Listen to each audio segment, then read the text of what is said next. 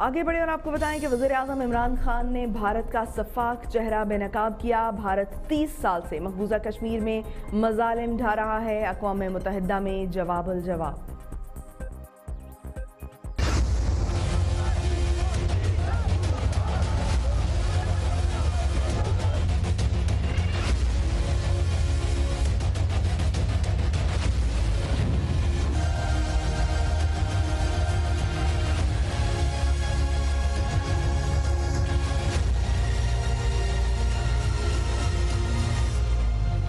Pakistan mission کے اہلکار ذلکرنین چھینا نے کہا ہے کہ مقبوضہ کشمیر کے عوام کو بولنے کی اجازت دینے سے بھارت کیوں گھبرا رہا ہے؟ بھارت مقبوضہ کشمیر کا ذکر تک کرنے سے کتراتا ہے۔ کیا بھارت کو اتنی ہمت ہے کہ انسانی حقوق کی رپورٹ کا جواب دے؟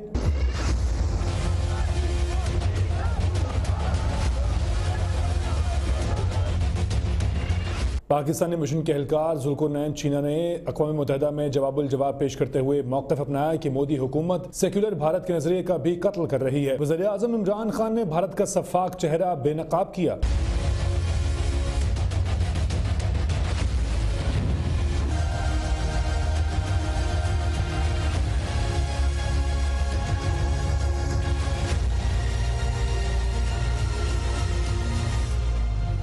ذلکرنین چینا نے کہا کہ بھارت تیس سال سے مقبوضہ کشمیر میں مظالم ڈھا رہا ہے۔ بھارتی حکومت آر ایس ایس کے نظریے کو آگے بڑھا رہی ہے۔ انہوں نے یہ بھی کہا کہ گرفتار بھارتی جاسوس کلبھوشن جادیو نے دہشت گردی کا اعتراف کیا۔